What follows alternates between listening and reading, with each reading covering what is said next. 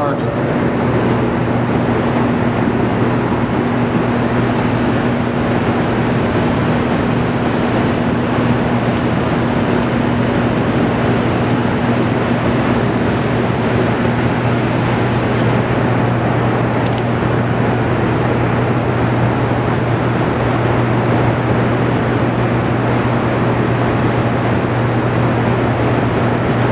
Welcome to the Hoover Dam Power Plant.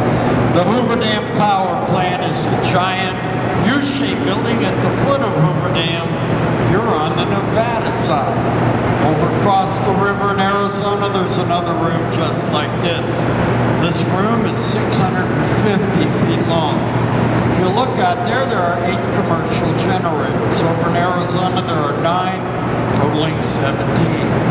Each one of those generators is capable of producing up to 130 megawatts of power. Totally, the plant is capable of producing up to 2,080 megawatts of power. The power from this plant is divided among three states.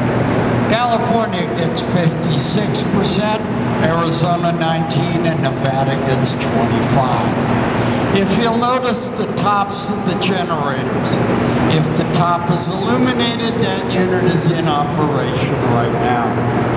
Now pay attention to the generator that's closest to us. That one is designated N1 or Nevada 1. That generator took 60 train cars full of parts. It came online during 1936. It became one of the first of its kind in the world. By the end of 1937, there were four of those generators in operation here, making this the largest producing power plant in the world at that time. Now pay attention to N1. Notice the walkway that goes around the center of it. Then look in the center at the opening and inside there. That's the shaft. That shaft is 38 inches in diameter, 65 feet long, and it weighs 114 tons. What's making it spin is water, which comes from Lake Mead, goes into large pipes, which are also called penstocks. Just saw one of those pipes. There are two of those pipes on each side of the canyon. Each one of them is 30 feet in diameter. They carry the water from Lake Mead around the dam through the canyon walls, and as they get alongside each one of the generators, the water is transferred from the 30-foot pipe to 13-foot pipes. At that point, the water is traveling at approximately 48 miles an hour. The water then goes under the generator, spins the Francis type turbine or water wheel. That in turn spins the shaft, which spins the rotor, and that's what produces electricity. Then the water is returned back into the river and heads southbound towards Mexico. If you'll notice down there in the floor with the little fence around it, there's a rust-colored horizontal style generator. That's a Pelton water wheel generator. There are two of those in the plant.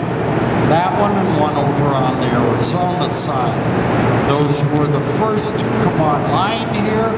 They both are capable of producing up to 2.4 megawatts of power, and they produce all internal power for the dam and the plant.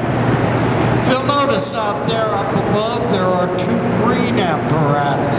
Those are called bridge cranes. They travel the entire length of this room on those tracks you see up there. Each bridge crane can lift 300 tons. Together, they can lift 600 tons. Now, what on earth would weigh 600 tons? Right there. That's a rotor sitting on the floor in front of you. That rotor came out of the sixth generator line down there, N6. They needed to work on the generator, so they put the two bridge cranes together, lifted that rotor up, brought it down here and set it here. It weighs more than 600 tons.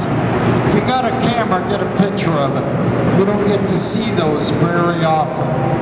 The next time that rotor will be out of that generator will be more than somewhere between 15 and 20 years from now. Now we're going to head back down the tunnel of the elevator. You're to wait for me at the entrance of the tunnel. Do not enter the tunnel till I get there.